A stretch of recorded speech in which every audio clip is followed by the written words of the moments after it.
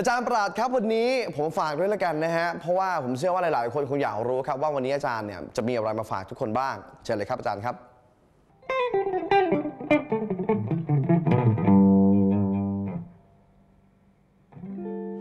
หาที่ลงไม่เจอนะครับ สวัสดีครับ ผมจานปราดเรืองรังสีนะครับอ่าวันนี้นะครับจะมาแนะนำลูกที่ถ้าในกีตาร์เนี่ยเขาเรียกว่าลูกรันนะครับ ลูกรันหมายความว่าลูกวิ่งนั่นเองนะครับ เป็นส่วนประกอบหนึ่งนะครับในการเล่นดนตรีที่จะทำให้มันมีหลากหลายสีสันนะครับลูกรันนี้นะครับอยู่ในคีย์ G นะครับ ผมลองเล่นให้ดูก่อนนะครับ เป็นสัดส่วนที่เขาเรียกว่า 16 note triplet นะครับหรือบ้านเราเรียกว่า 6 พยางนะครับ คือใน 1 บีทเนี่ยเล่น 6 ตัวนะครับ เล่นนะครับ 1 2 3 4 5 6 ตั้งใหม่ 1 2 3 4 5 6 1 2 3 4 5 6 1 2 3 4 5 6 1 2 3 4 5 6 1นะครับ เป็นอย่างนี้ลิกนี้ดูนะครับ คือฝึกเบสิกความจริงนี่คือสเกล G major นะครับ เปลี่ยนเป็นเปลี่ยนเป็นสเกลอะไรก็ได้ เปลี่ยนเป็นเป็น C major ก็ได้นะครับ แล้วแต่ฟิงเกอร์ลิงเรานะครับ แต่ G major ก็จะง่ายหน่อยในตอนเริ่มต้นคือ คู่นี้เหมือนกัน คู่สาย 5 สาย 6 เล่นเหมือนกัน สาย 4 สาย 3 เล่นเหมือนกัน สาย 2 สาย 1 เล่นเหมือนกันนะครับ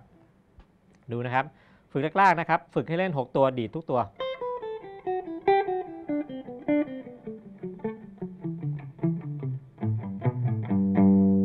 นะครับ ดีได้ครบนะครับ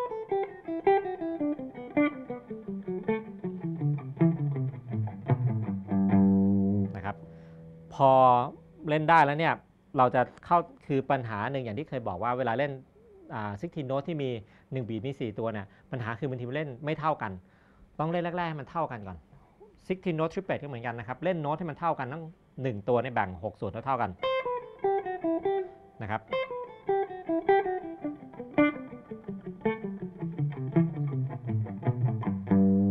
นะครับ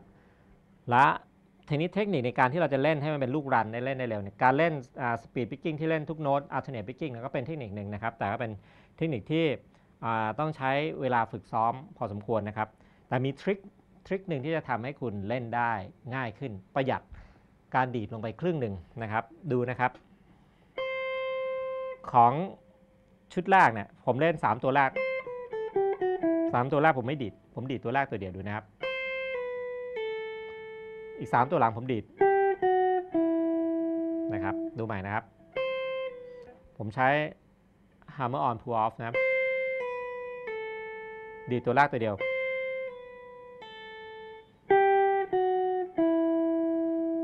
ครบชุดปุ๊บ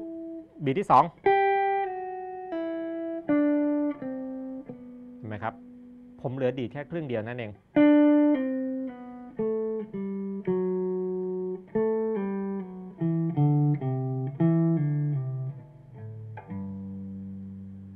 ง่ายขึ้นนะครับ พอเราเริ่มฝึกได้1ลิก1ลายอย่างสัดส่วนที่ถูกต้องตบเท้าถูกต้องเนี่ย มันจะทำให้เรามีเบสิกของ 16 note triplet ติดอยู่ในตัวนะครับ เราจะสามารถอัด p t เอาไปใช้กับเรื่องอื่น ๆได้นะครับ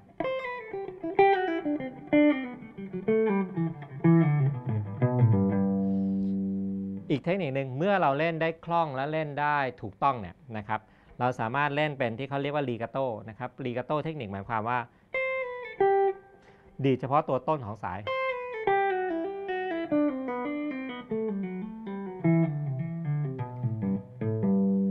มือนี้ทำให้ตัดสัดส่วนถูกต้องนะครับ คือมันต้องเกิดจากการเราฝึกสัดส่วนถูกต้อง ถ้าเราไปเล่นลีกาโต้เลยบางทีมันมั่วนะครับ แต่พอเราเล่นลีกาโต้ด้วยสัดส่วนเล่นสัดส่วนปิกมาได้แล้วเนี่ยบางทีผมไม่ดีแล้วเลยนะ ผมดีดตัวแรกตัวเดียว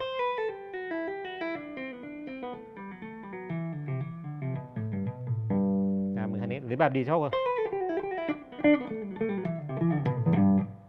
ได้ไหมเห็นไหมครับ แล้วแต่คือเทคนิคพวกนี้พอสัดส่วนมันได้แล้วนะครับ เล่นออะไรต่างๆ นานาได้แล้วเนี่ย มันก็ ทำให้เราสามารถสั่งตัวเองได้นะครับเขาบอกว่ามันเหมือน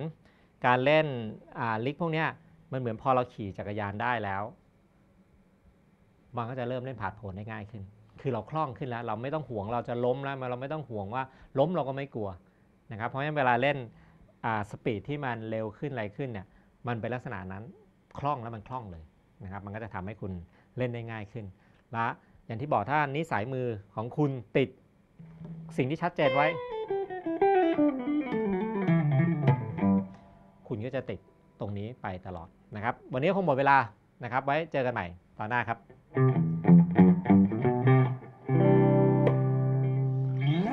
ขอบคุณด้วยนะครับ อาจารย์ประหลาดจากสถาบันสอนดนตรีประหลาดมิวสิกนั่นเองฮะ คงได้อะไรไปเยอะเลยทีเดียวครับ ฉะนั้นเนี่ยอย่าเพียงแค่ฟังจดจำและไปฝึกฝน เท่านี้คุณอาจจะมีบางสิ่งบางอย่างในชีวิตเกิดขึ้นใหม่และต่อยอดต่อไปก็ได้ครับ เอาล่ะช่วงนี้เบรกก่อนช่วงหน้ากลับมาอยู่ด้วยกันที่ Musicology ครับ เสียงก็สปูตครับ ใส